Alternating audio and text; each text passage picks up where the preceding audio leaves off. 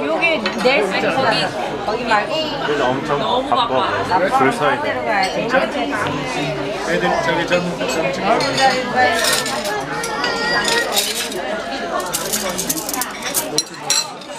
한국도 그렇게 큰 컴퓨터인데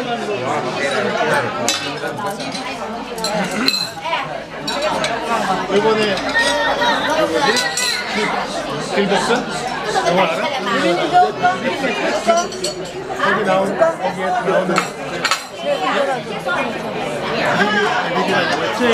보니까 이번에 간 커피숍이 거기 나오니까 인천에